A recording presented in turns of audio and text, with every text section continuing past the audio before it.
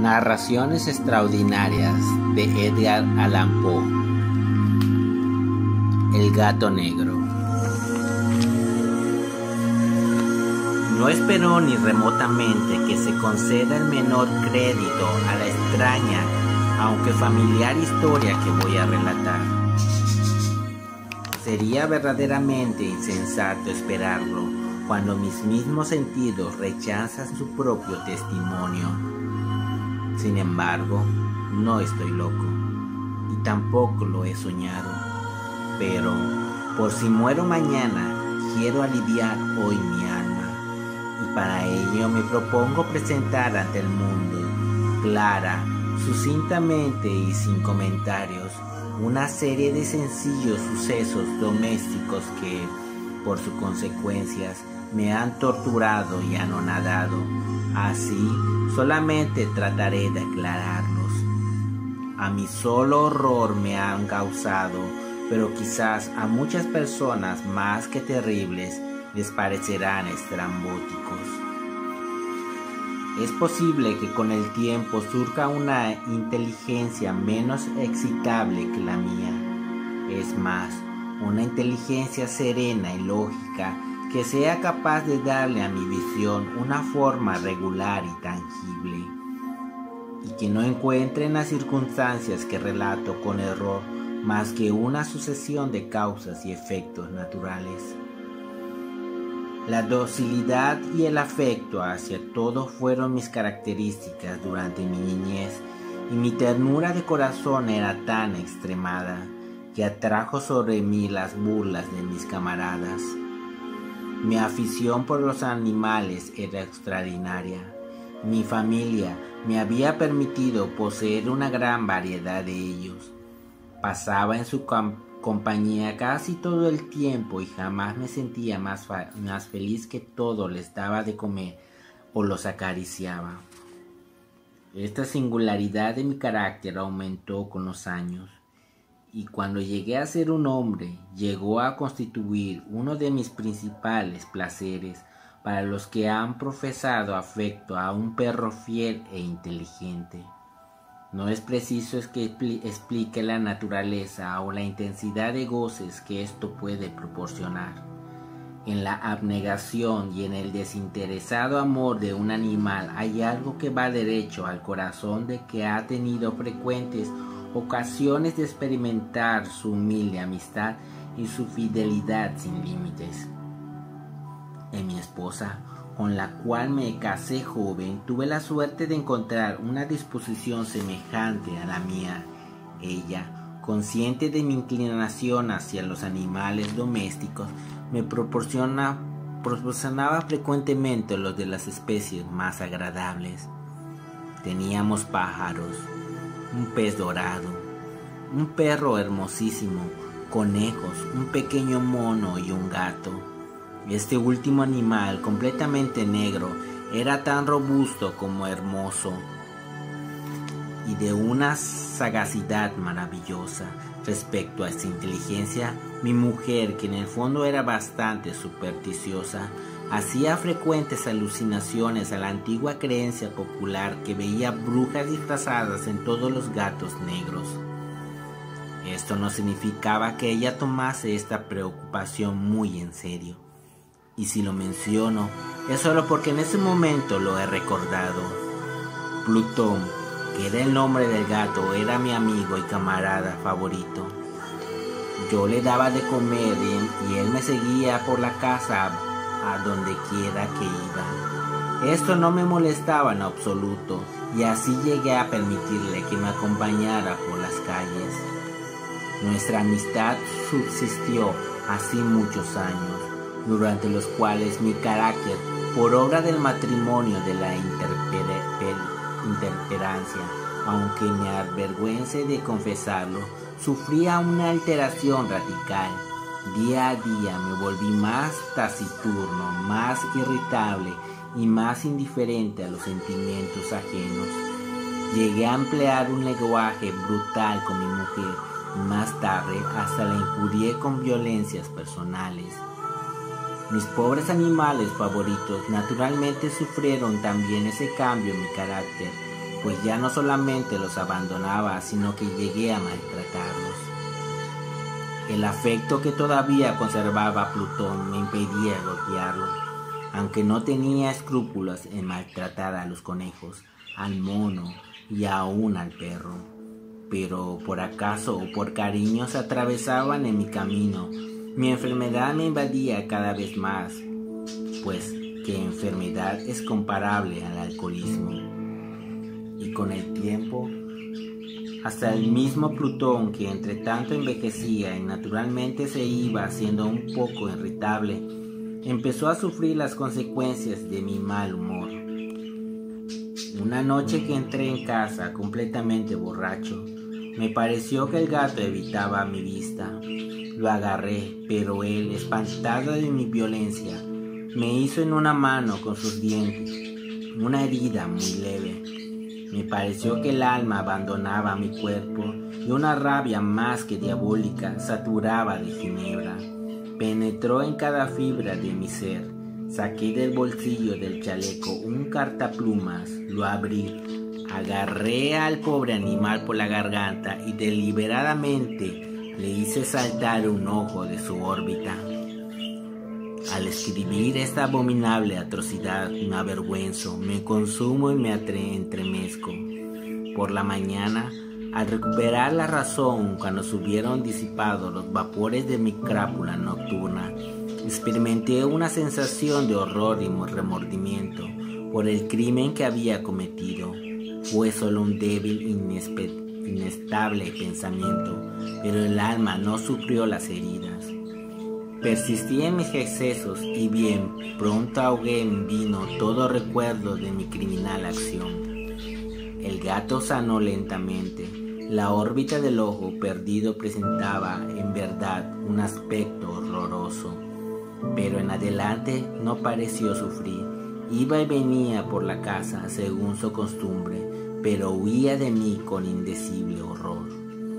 Aunque quedaba en mi suficiente benevolencia para sentirme afligido por esa antipatía evidente de parte de un ser que tanto me había amado, pero a este sentimiento bien pronto sucedió la irritación y entonces se desarrolló en mí para mi postrera e irrevocable caída el espíritu de la perseveridad, del que la filosofía ni hace mención, porque con la misma seguridad con que creo que existe mi alma, creo que también que la perversidad es uno de los impulsos primitivos del corazón humano y una de las facultades o sentimientos elementales que dominan el carácter del hombre.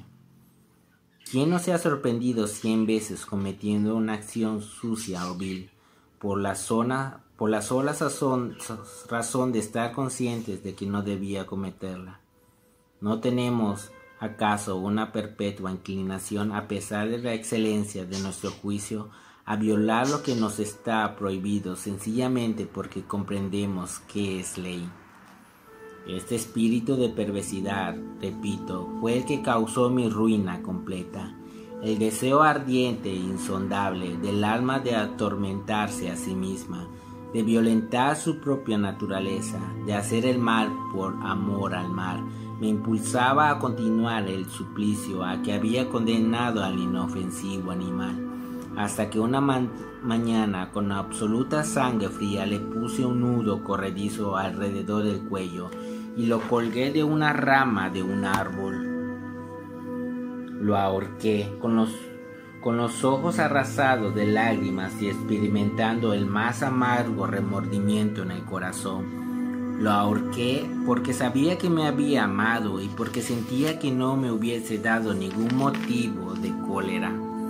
Lo ahorqué porque sabía que haciéndolo cometía un pecado, un pecado mortal que comprometía mi alma al extremo de colocarla, si tal cosa es posible, fuera de la misericordia infinita de Dios piadoso y terrible. En la noche que siguió al día que fue ejecutada esta cruel acción, fue despertado a los gritos de fuego. Las cortinas de mi lecho estaban convertidas en llamas y toda la casa ardía.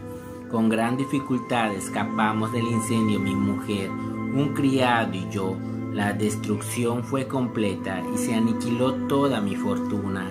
Entonces me entregué a la desesperación. No intento establecer una relación entre la causa y el efecto, entre la atrocidad cometida y el desastre. Estoy muy por encima de esta debilidad. Solo doy cuenta de una cadena de hechos y no quiero que falte ningún eslabón. El día siguiente al incendio visité las ruinas. Los muros se habían desplomado, excepto una, y esta única excepción fue un tabique interior poco sólido, situado casi en la mitad de la casa y contra el cual se apoyaba la cabecera de mi lecho. Dicha pared había escapado en gran parte a la acción del fuego, cosa que yo atribuía que había sido renovada recientemente. En torno a este muro se agrupaba una multitud de gente y muchas personas parecían examinar algo muy particular con minuciosa y viva atención. Las palabras extraño, singular y otra expresión semejante excitaron mi curiosidad. Me aproximé y vi a manera de un bajo relieve esculpido sobre la blanca superficie la figura de un gigantesco gato la imagen estaba estampada con una exactitud verdaderamente maravillosa. Había una cuerda alrededor del cuello del animal. Al momento de ver esta aparición, pues es semejante circunstancia, no podía menos que considerarla como tal, y mi asombro y mi temor no tuvieron límites. Pero al fin la reflexión vino a mi ayuda. Recordé entonces que el gato había sido ahorcado en un jardín contiguo a la casa. Probablemente a los gritos de alarma, el jardín había sido invadido de inmediato por la multitud. El animal descolgado del árbol por alguna de ellas y arrojado en mi cuarto a través de una ventana abierta. Esto seguramente lo habían hecho con el fin de despertarme, la caída de los otros muros había aplastado a la víctima de mi crueldad en el yeso recientemente extendido. La cal de este muro, combinada con las llamas y el amoníaco desprendido del cadáver, habrían formado la imagen tal como yo la veía.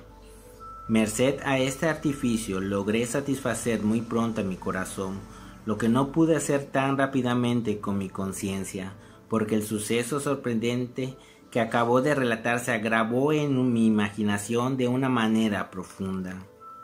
Hasta pasados muchos meses no pude desembarazarme del, del espectro del gato. Durante este periodo envolvió mi alma una especie de sentimientos muy semejante al remordimiento. Llegué hasta llorar la pérdida del animal y a buscar en torno mío los tugurios miserables que tanto frecuentaba habitualmente otro favorito de la misma especie y parecido a él que lo reemplazara. Una noche que me hallaba sentado, medio aturdido, en una taberna más que infame, fue repentinamente solicitada mi atención hacia un objeto negro que reposaba en lo alto de uno de, sus, de esos inmensos túneles de Ginebra, horrón que componían el principal ajuar de la sala. Hacia unos momentos que miraba yo a lo alto de este túnel y lo que me sorprendió fue no haber notado antes el objeto colocado encima. Me aproximé, tocándolo con la mano. Era un enorme gato tan grande como Plutón, e igual a él en todo, menos en una cosa. Plutón no tenía ni un pelo blanco en todo el cuerpo, pero en cambio este tenía una salpicadura larga y blanca, de forma indefinida que le cubría casi toda la región del pecho. No, bien lo hube acariciado cuando se levantó súbitamente. Prorrumpió un continuo ronquido, se frotó contra mi mano y pareció contento de mi atención. Era, pues, el verdadero animal que yo buscaba. Al momento Propuse al dueño de la taberna que me lo vendiera, pero éste no se dio por enterado. Yo no lo conocía ni lo había visto nunca antes de aquel momento. Continué acariciándolo y cuando me disponía a regresar a mi casa, el animal se mostró decidido a acompañarme. Le permití que lo hiciera, agachándome de cuando en cuando para acariciarlo durante el camino. Cuando llegamos a casa, pareció contento y satisfecho, haciendo enseguida gran amistad con mi mujer. Por mi parte, bien pronto sentí antipatía por él. Era casualmente lo contrario de lo que yo había esperado. No sé cómo ni por qué sucedió esto. Su empalagosa ternura me disgustaba, fatigándome casi. Estos sentimientos de disgusto y fastidio fueron poco a poco convirtiéndose en odio. Esquivaba su presencia, pero en especie de sensación de bochorno y el recuerdo de mi primer acto de crueldad me impidieron maltratarlo y durante algunas semanas me abstuve de tratarlo con violencia. Llegué a tomarles un indecible horror y al huir, silenciosamente de su odiosa presencia como de la peste. Seguramente lo que aumentó mi odio contra el animal fue el descubrimiento que hice la mañana siguiente de haberlo traído a casa. Al igual que Plutón, él también había sido privado de uno de sus ojos. Era circunstancia hizo que mi mujer lo tomase más cariño, pues como ya he señalado, ella poseía el alto grado, esa ternura de sentimientos que había sido mi rasgo característico y el manantial frecuente de mis más sencillos y puros placeres. No obstante, el cariño del gato hacia mí parecía acrecentarse en razón directa de mi aversión hacia él. Con implacable tenacidad que no podía explicarse, el lector seguía mis pasos cada vez que me sentaba, se acurrucaba bajo mi silla o saltaba sobre mis rodillas, cubriéndome con sus repugnantes caricias. Si me levantaba para andar, me sentía entre, me metía entre mis piernas y casi me hacía caer al suelo, o bien introduciendo sus largas y afiladas garras en mis ropas, trepaba hacia mi pecho en tales momentos, aunque hubiese deseado matarlo de un solo golpe, me contenía en parte por el recuerdo de mi primer crimen, pero principalmente debo confesarlo por el terror que me causaba el animal. Este terror no era de ningún modo el espanto que produce la perspectiva de un mal físico, pero me sentía muy difícil denominarlo de otro modo.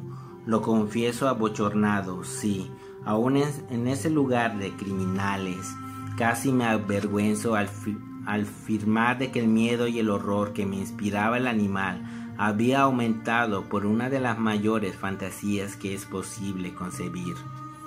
Mi mujer que había hecho notar más de una vez el carácter de la mancha blanca que he hablado y en la que estribaba la única diferencia aparente entre el nuevo animal y el que yo había ahorcado. Seguramente recordaba el lector que esta marca, aunque grande, era en un comienzo de forma indefinida, pero tan lentamente y en grados tan imperceptibles, que mi razón se esforzó largo tiempo en considerar cómo imaginarlos, había llegado a adquirir una rigurosa precisión en sus contornos. Presentaba la forma de un objeto que se estremezco solo al nombrarlo, y esto era lo que sobre todo me hacía mirar al monstruo con horror y repugnación, y lo que me habría impulsado a liberarme de él, si me hubiera atrevido, la imagen de una cosa horrible y siniestra, la imagen de la horca, oh, lúgubre y terrible aparato, instrumento del horror y del crimen, de la agonía y de la muerte.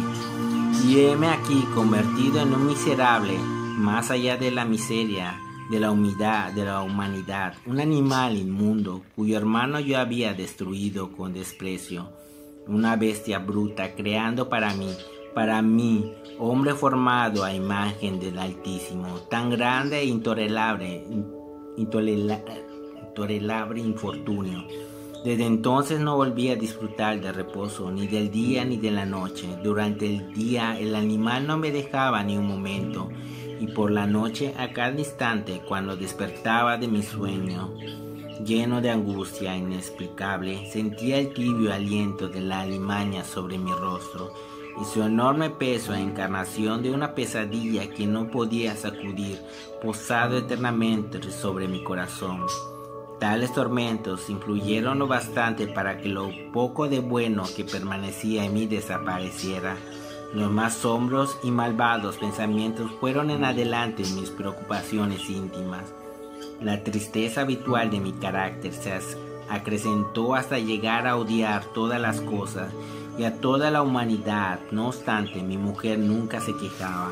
Ay, ella que era de ordinario el blanco de mis iras y la más paciente víctima de mis repentinas frecuencias e indomables explosiones de cólera a la cual me abandonaba ciegamente.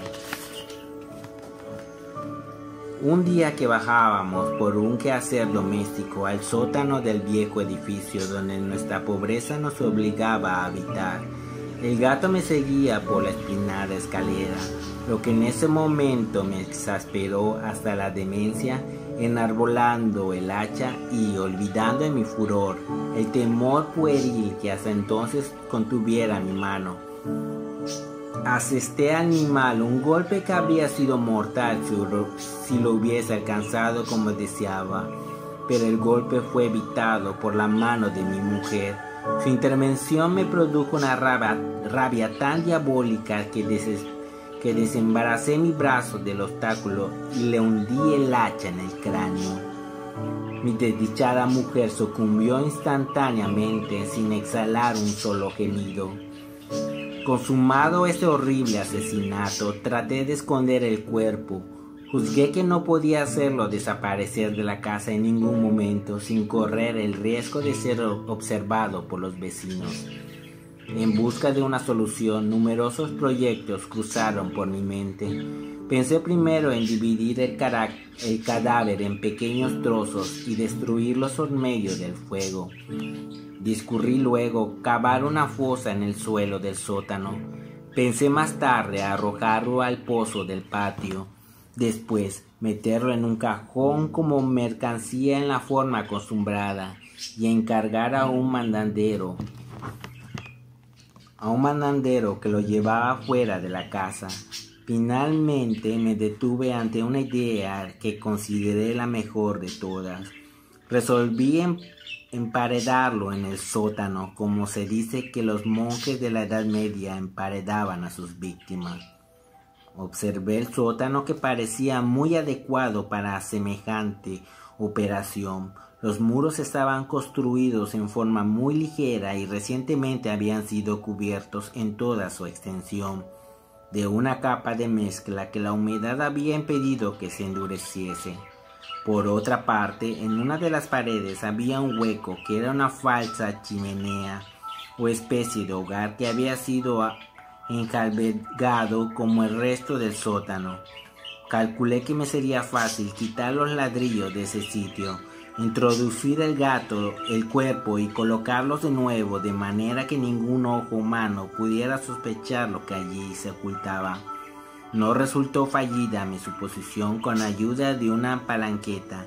Quité con bastante facilidad los ladrillos y habiendo colocado cuidadosamente el cuerpo contra el muro interior, lo sostuve en esa posición hasta que hube reconstruido sin gran trabajo toda la obra. Habiendo adquirido cal y arena, tomando todo tipo de precauciones, preparé un remolque que no se diferenciaba del antiguo y cubrí con él escrupulosamente el nuevo tabique. El muro no presentaba la más ligera de renovación. Hice desaparecer los escombros con el más prolijo esmero y expurgué el suelo, por decirlo así. Con gran sensación de triunfo miré el torno mío y me dije, Aquí por lo menos mi trabajo no ha sido perdido. Enseguida acudió a mi mente la idea de buscar al gato, causa de tan gran desgracia, pues al fin había resuelto darle muerte. De haberlo encontrado en aquel momento, su destino estaba decidido, pero quizás alarmado, el sagaz animal por la violencia de mi reciente acción no osaba presentarse ante mí en mi actual estado de ánimo. Sería tarea imposible describir o imaginar la profunda, la feliz sensación de consuelo que la ausencia del detestable animal produjo en mi corazón. No apareció en toda la noche. Por primera vez desde su entrada en mi casa, logré dormir con un sueño profundo y sosegado. Sí, dormí con un, con un patriarca, no obstante tener el peso del crimen sobre el alma. Transcurrieron el segundo y tercer día sin que volviera el gato. De nuevo respiré como hombre libre. El monstruo, en su terror, había abandonado para siempre aquellos lugares. Me parecía que no lo volvería a ver. Mi dicha era inmensa. El remordimiento de mi tenebrosa acción no me inquietaba mucho. Se instruyó una especie de sumario que fue sobreposeído al instante. La indagación practicada no dio al menor resultado. Habían pasado cuatro días desde que cometí el asesinato, cuando un grupo de agentes de policía se presentó inopinadamente en casa y procedió de nuevo a una prolija investigación. Como tenía plena confianza en la permeabilidad del escondrijo, no experimenté zozobra. Los funcionarios me obligaron a acompañarlos en el registro, que fue minucioso en extremo. Por último y por tercera o cuarta vez descendieron al sótano. Mi corazón latía regularmente como el de un hombre que confía en su inocencia. Recorrí de uno a otro extremo el sótano, crucé mis brazos sobre mi pecho y me pasé aparentando tranquilidad de un lado a otro. La justicia estaba plenamente satisfecha y se preparaba a marchar. Era tan la alegría de mi corazón que no podía contenerla. Me abrazaba el deseo de decir algo, aunque no fuese más que una palabra en señal del triunfo, y hacer indubitable la convicción de mi inocencia. Señores, dije al fin, cuando ya subía la escalera, estoy satisfecho de haber desvanecido sus sospechas. Deseo a todos buena salud y un poco más de cortesía. Y de paso, caballeros, vean aquí una casa singularmente bien construida. En mi ardiente deseo de decir alguna cosa, apenas sabía lo que hablaba. Les puedo asegurar que esta es una casa admirablemente hecha. Esos muros van, van ustedes a marcharse, señores. Estas paredes están fabricadas sólidamente. Y entonces, con una audacia frenética, Golpeé fuertemente con el bastón que tenía en la mano precisamente sobre la pared del tabique detrás del cual estaba el cadáver de la esposa de mi corazón. Ah, que Dios me proteja y me libra de las garras del demonio. No se había extinguido aún el eco de mis golpes cuando una voz surgió del fondo de la tumba. Un quejido primero, débil y entrecortado, como el sollozo de un niño, y que aumentó después de intensidad hasta convertirse en un grito prolongado, sonoro y continuo, antinatural y antihumano, un aullido, un alarido a la vez del espanto y de triunfo, como solamente puede salir del infierno, como horrible armonía que brotase a la vez de las gargantas de los condenados en sus torturas y de los demonios regocijándose en sus padecimientos. Relatar mi estupor sería insensato. Sentí agotarse mis fuerzas y caí tembaleándome contra la pared opuesta. Durante un instante los agentes que estaban ya en la escalera quedaron paralizados por el terror. Un momento después, una docena de brazos vigorosos caían demoledores sobre el muro, que vino a tierra enseguida. El cadáver, ya bastante descompuesto y cubierto de sangre cuajada, apareció rígido ante la vista de los espectadores. Encima de su cabeza, con las rojas fauces dilatadas y el ojo único despidiendo fuego, estaba subida la abominable bestia cuya malicia me había inducido al asesinato y cuya voz acusadora me había entregado al verdugo. El monstruo había sido emparedado por mí, al mismo tiempo que escondía a mi desgraciada víctima.